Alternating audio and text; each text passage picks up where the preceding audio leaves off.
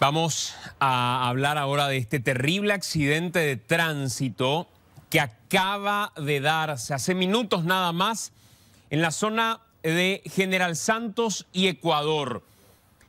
Tan terrible el accidente que ustedes van a ver la velocidad que llevaba el automóvil que impacta en la parte delantera y luego un giro que tira al vehículo para el otro lado. La verdad, impresionante. Varias personas, entendemos según el primer reporte, resultaron heridas. Ven cómo el vehículo realiza una frenada brusca y la pérdida de control le lleva a realizar este giro. Inclusive ya estamos en vivo, en directo, desde ese lugar. El compañero Mateo Ladino está en la cobertura. Mateo, qué terrible accidente de tránsito. Contanos, por favor. Sí, Santiago, estamos sobre la avenida Fernando de la Mora en la intersección con la calle Ecuador. El movimiento vehicular se quedó atascado tras la, este accidente que ocurrió hace algunos minutos. Vean ustedes las condiciones en que quedó el vehículo que dio prácticamente una vuelta completa en el aire para finalmente estrellarse aquí a un costado de la avenida Fernando de la Mora. Hay gente que se encuentra todavía... Eh, por supuesto asistiendo a las personas que han sido víctimas. Hay un total de cinco heridos, entendemos que ya los bomberos voluntarios han trasladado a estas personas hasta el hospital de trauma que queda nada más aquí a unos pocos cientos de metros. Hay personas que, como decíamos, han resultado víctimas, sin embargo, ya han mencionado que no hay eh, víctimas eh, ya de, muerte que lamentar afortunadamente. Hay personas que se encuentran aquí en la zona. Vamos a escuchar. Amigo, ¿vos viste algo, amigo? ¿Qué pasó? No, no. Hay mucha gente aquí en la, en la zona también ayudando, colaborando con la ciudadanía. Lo que entendemos es que hay dos vehículos involucrados. Según estas imágenes de circuito cerrado, las cuales accedimos, este vehículo que estamos viendo ahora, Santiago, es el que da una vuelta completa en el aire tras ingresar al carril contrario, chocando contra el otro vehículo de color blanco, la Hyundai, que vamos a ver un poco más hacia allá, y termina en estas condiciones. El, el vehículo quedó totalmente destrozado, mientras que el otro recibió también el impacto en la parte frontal una motocicleta que se encontraba detrás de esta Hyundai también resultó herida. En ella circulaban dos personas. Ambas resultaron con algunas heridas, sin embargo, han logrado contar la historia, fueron derivados conscientes hasta el hospital de trauma y se encuentran todavía eh, en buen estado, según el último reporte que habíamos recibido de forma preliminar de los bomberos voluntarios. Señora, ¿usted vio algo de lo que pasó? ¿Puede relatarnos? Y la verdad que no fui yo la que he visto, pero el muchacho que trabaja en el taller vio todo y dice que venía con tanta velocidad el muchacho este del, eh, del gol y hizo un giro acá enfrente de nosotros, donde nosotros estamos e impactó por la camioneta que está destrozada también por el frente. Y de prepo nomás ya le agarró también al de la moto. Pero siempre hacen un giro de cuatro o cinco vueltas más o menos para quedarse quieto. Eso es lo que te puedo yo contar porque no es la primera vez, es la décima quinta o quizá décima sexta vez que está pasando en cinco años. ¿Es vecina aquí de la zona? Sí, aquí al lado vivo yo. Suele circular con mucha velocidad aquí en esta parte.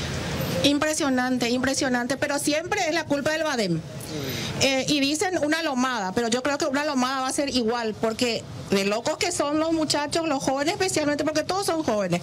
A mí me, chocaron por la muralla, me chocaron por, la, eh, por el portón, me destrozaron también mi auto eh, hace tres años. Y, creo que si es que ponen una lomada, van a pasar la lomada y va a ser la misma cosa. ¿Ustedes salieron a asistir a las personas que estaban aquí? Eh, sí, todos, todos, muchísima gente. Mayormente pasa a las 3, las 4 de la madrugada, pero hoy fue muy temprano.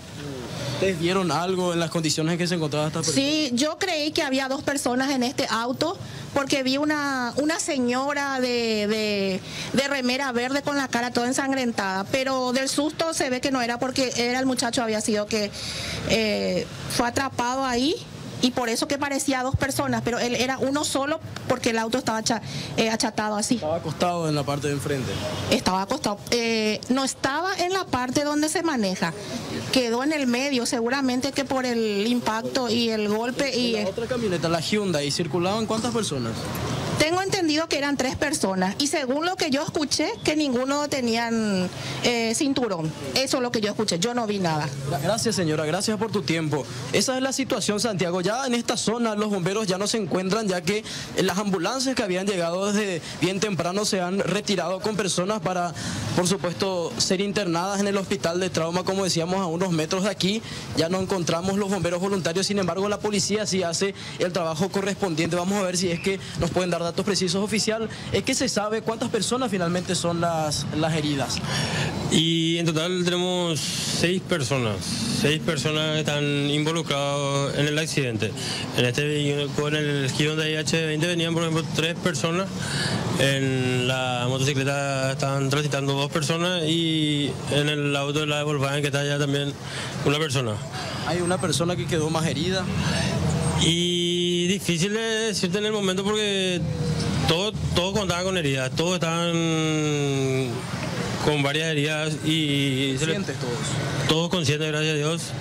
Pudimos tomar todos los datos de ellos y, el, y vinieron la ambulancia CM, bomberos y le derivaron al, al, hospital de trauma. ¿Se puede saber en qué condiciones quedó el, el, conductor de esta, de esta Volkswagen? Porque como vemos el vehículo está totalmente destrozado, oficial. Sí, sí. Y estaba, eh, estaba consciente, con varios golpes como te mencioné, pero consciente, lesiones, golpes. ¿Fracturas a simple vista al menos? A simple vista no, no pudimos constatar si tenía fractura o no, pero sí varias heridas. Oficial, hay varias, eh, varias, varios relatos de vecinos que indican que en este lugar ya ocurrieron varios accidentes a consecuencia de un badén que está, si podemos mostrar allá, sobre la calle Ecuador. Justamente ahora va a pasar un vehículo y ahí está también otro badén aquí sobre la avenida, ¿no? Sobre la avenida General Santos se encuentra el badén. Y suele ocurrir, suele ocurrir accidente de tránsito, no continuamente, pero suele ocurrir.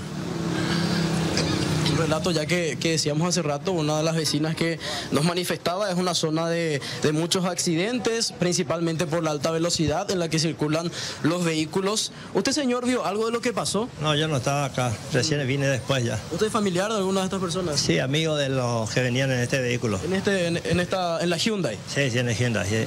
Le, ¿Usted ya pudo conversar con alguno de ellos? Están en emergencias médicas, pero están relativamente bien. Sí. ¿Dos personas venían? Cuatro. ¿Cuatro personas? Sí, cuatro. ¿Y, sí. ellas estaban eh, con algún tipo de medida de seguridad, cinturón? O no tengo idea, ¿eh? me avisaron ya después cuando vine y estaba así. ¿Qué le dijeron a usted, señor? Nada, que se iban a emergencias médicas y que por favor venga a cuidar el auto. ¿Ellos son parientes, son familiares? Amigos, amigos nada más. ¿Todos amigos? Sí, todos amigos. ¿Hombres todos? Este, un hombre y tres mujeres. Sí. Gracias, gracias. Nada.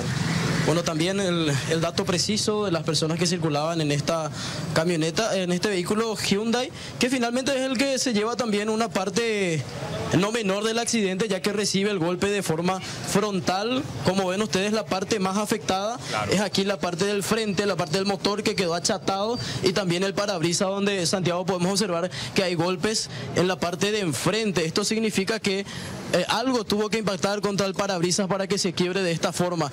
Evidentemente vamos a esperar el reporte de los bomberos voluntarios y del hospital de trauma para saber el estado de salud de las personas accidentadas. Pero lo que podemos mencionar es que todos los que fueron involucrados recibieron algún tipo de heridas, laceraciones a consecuencia de este choque tan fuerte. Mateo, ¿a qué Badén se refieren si podemos de nuevo ir hasta ese lugar? Porque lo, que relataba al menos la vecina que decía que al menos 15, 16 accidentes ya tuvieron en los últimos tiempos, es que ese Badén es el gran problema y la velocidad que lleva, por supuesto, la gente ahí. Esto es sobre la avenida Fernando de la Mora.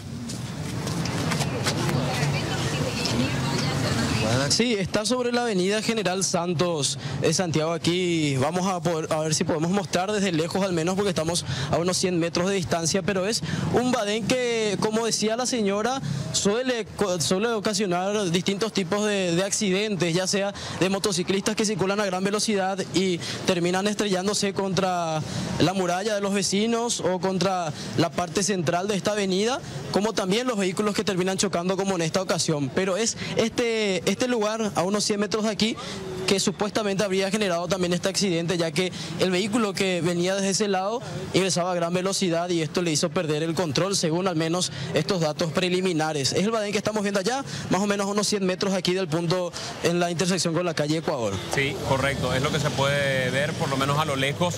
y por las condiciones en las que quedaron, eh, sobre todo queda este vehículo que estamos observando, es verdadero milagro que no hayan eh, llevado una peor parte quienes fueron trasladados hasta el centro de emergencias médicas, hasta el hospital de trauma. Decían los testigos, también el policía interviniente, que ninguno de ellos resultó herido de mucha gravedad, Mateo. Entendemos que, el conductor quedó en condiciones eh, vamos a decirle intermedia, ha, sufrido golpes importantes a la altura de la cabeza y de los brazos, también a la altura del abdomen, según nos comentaba uno de los bomberos os de récord, sin embargo no tenemos todavía una confirmación oficial del estado de salud de estas personas. Lo cierto y concreto es que el, estado en que quedó el vehículo, uno podría dimensionar también las condiciones en que pudieron haber quedado estas personas, pero afortunadamente todos salieron con vida, según la, última información que, que tenemos. Como podemos observar, hay gente también aquí, familiar entendemos, de las personas que han sido víctimas revisando el vehículo a ver si quedó algo también. De esta forma también corroborar si, si algún celular o alguna pertenencia de, las víctimas haya quedado en el interior del vehículo. Vamos a ver si podemos hablar con, con él si tiene otros datos que, que brindarnos. Terrible lo que ocurrió, mi amigo. Terrible, terrible. Sí. ¿Usted es familiar de alguna de estas personas? El padre de... ¿El padre del conductor? El conductor, sí, de este vehículo. ¿Cómo se llama su hijo, señor? Cristian Marcelo. ¿Y Cristian a dónde se iba? Estaba viniendo y el Badén que estaba allá otra vez nuevamente, la, el que ocasionó el, este ¿Se estaba yendo a su casa? Sí, sí, sí, estaba en trabajo, ¿verdad? Es bol, eh, conductor de bol. Ah, él es conductor de bol. Conductor de bol. ¿Con quién más circulaba? Estaba ya sin pasajeros, sin pasajeros, sí, estaba solo y realmente triste porque, pero gracias a Dios estaba sano. Lo material es recuperable, ¿verdad? Pero la vida, pero está bien, ya ¿Qué tenemos... señor? ¿En qué condiciones está su hijo? Está estable, con, no perdió conocimiento, pero tiene algunas escoriaciones y golpes. Está en observación en trauma. Usted está viendo ahora mismo el vehículo de, Cristian. Eh, sí. Eh, realmente al ver esto seguramente usted se sorprende y agradece también porque el vehículo quedó totalmente destrozado. Sin palabras. Gloria a Dios. ¿Qué voy a decir más de, salir con vida de este de vos que decís? ¿Qué, qué opinas de todo cómo quedó y salir? No sé, no, no, no tengo explicación, estoy muy choqueado también por la situación, ¿verdad? Nadie quiere que ocurra estas cosas, pero realmente no. ¿Ustedes viven por aquí, por la zona? No, no, no, yo de San Lorenzo somos, pero por el trabajo, ¿verdad?, que, que está haciendo, recorre de, de varios lugares, ¿verdad?